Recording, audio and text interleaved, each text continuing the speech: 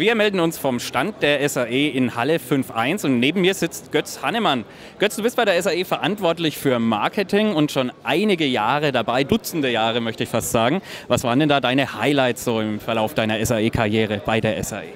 Oh, meine ganz persönlichen Highlights, da gab es einige oder geht es jetzt um die Highlights der SAE?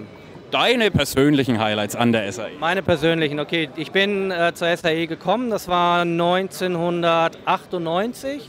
Ähm, da war mein Highlight, dass ich in Hamburg anfangen durfte, wo ich jetzt inzwischen auch wieder bin. Und ähm, ansonsten gab es natürlich auch SAE-Highlights in der Zeit, zum Beispiel ähm, im Jahr 2000, als der Digital-Filmkurs eingeführt wurde.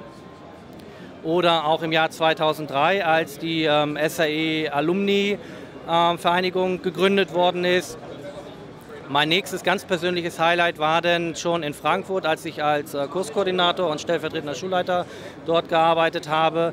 Im Jahr 2005 die erste SAE Alumni Convention. Da glaube ich, äh, können wir uns beide noch lebhaft daran erinnern, Christian. Ne? Ganz genau. Das nächste Highlight war dann sicherlich ähm, im Jahre, wann war es, 2008, als wir, beziehungsweise Tom, die SAE Oxford gekauft und gegründet hat. Haben wir auch darüber berichtet von hier? Ganz genau, haben wir auch von der, äh, habt ihr auch darüber berichtet. Ähm, ich äh, kann mich dunkel daran erinnern.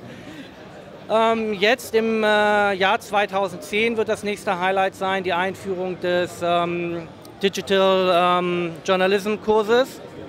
Und ähm, ja, da bin ich, denke ich mal, äh, ganz optimistisch, dass das ein äußerst erfolgreicher Kurs werden wird.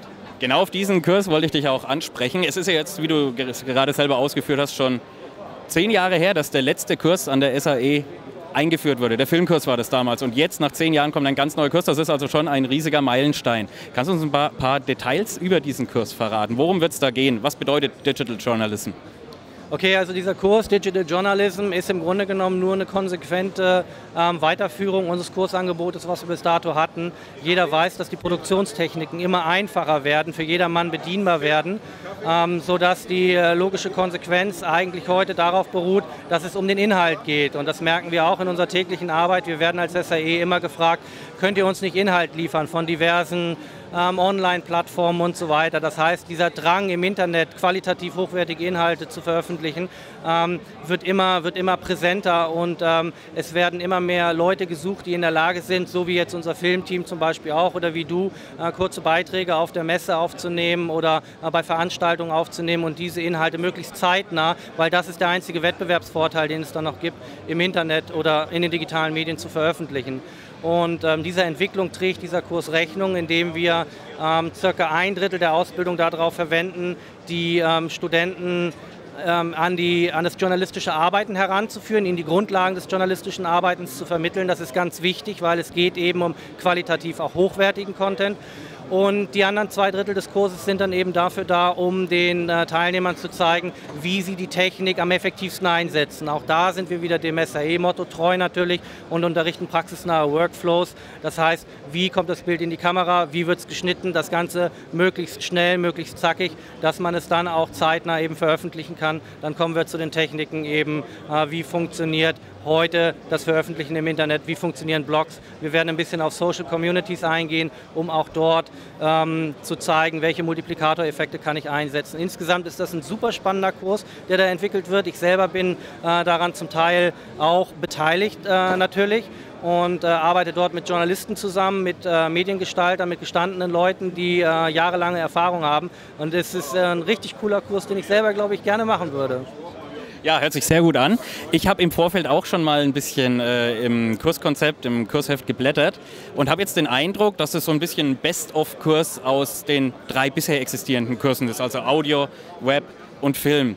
Ist es dann, dann so, dass man in allen drei Bereichen richtig fit ist und äh, in welche Richtung spezialisiert man sich denn dann eigentlich bei all den Bereichen, die da zusammengeführt werden? Äh, wie ich es eben gerade schon gesagt habe, Christian, geht es darum, digitale Inhalte zu erstellen und zu veröffentlichen. Und ich muss jetzt kein PHP programmieren können oder ich muss kein Flash programmieren können. Ich bleibe jetzt einfach mal beim Webdesign, um äh, digitale Inhalte im Internet zu veröffentlichen, um eine Story zu veröffentlichen. Ähm, ich muss viel mehr darüber informiert sein, wie gehe ich an die Recherche heran, wie baue ich eine Story auf, ist es eine Reportage, ist es eine Dokumentation, ist es ein Essay oder was ist es überhaupt. Das heißt, die journalistische Komponente, die technische Komponente, auf die du anspielst, ähm, da geht es dann eben tatsächlich darum, dass die ähm, Absolventen in der Lage sind, wirklich die Technik so einzusetzen, dass sie ihre Inhalte, den, den, den heute so wichtigen Content eben veröffentlichen können. Und zwar in der Form, wie er benötigt wird. Also als vernünftig komprimierter Webfilm oder eben als äh, hochauflösende Fotodokumentage, äh, wenn es dann auch in den Print reingehen soll. Okay. Und arbeitest du schon am nächsten Kurskonzept? Werden da noch einige neue kommen, sodass man sich vielleicht bald an der SAE wie äh, an der Uni einen eigenen Stundenplan zusammenstellen kann? Wo steuert das Ganze hin? Ja, also SAE ist natürlich immer noch ähm, darauf bedacht und das zeichnet uns aus, dass man ähm, vor Ort mit der Technik, die wir zur Verfügung stellen, arbeiten können, was einfach ein ganz, ganz, ganz wichtiger Punkt ist, äh, mit wirklich in tollen Studios zu arbeiten, mit tollem Equipment zu arbeiten.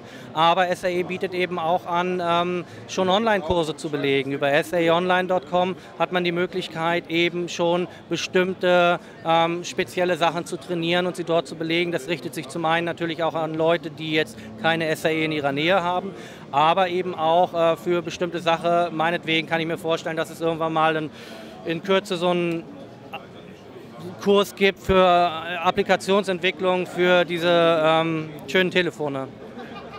Götz, ich danke dir, wünsche viel Erfolg äh, mit dem neuen Kurs und dir außerdem noch viel Spaß in Frankfurt.